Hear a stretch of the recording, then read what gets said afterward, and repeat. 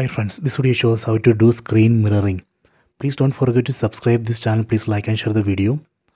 First in this TV, let me go to settings. Select this settings icon from top right corner. Go to network and internet.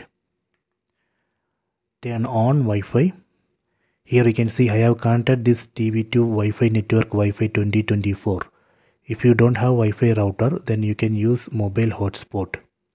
So first we need to connect TV to uh, Wi-Fi router or mobile hotspot. That is a step one.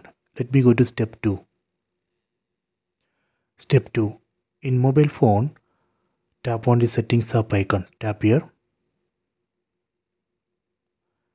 Then tap on connections.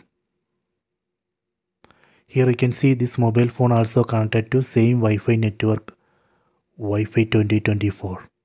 So we have to connect both the mobile phone and TV to same Wi-Fi router or mobile hotspot.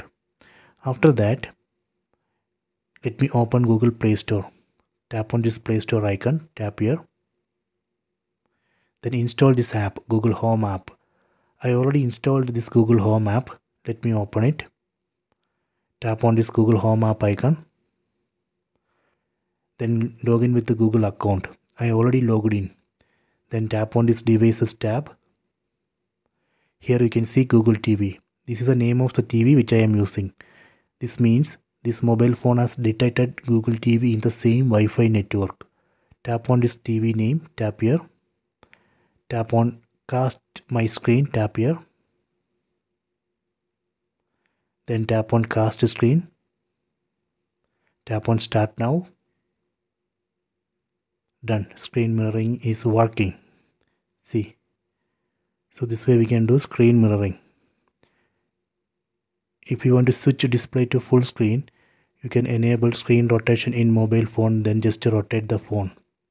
That way we can switch display to full screen in both TV and mobile phone.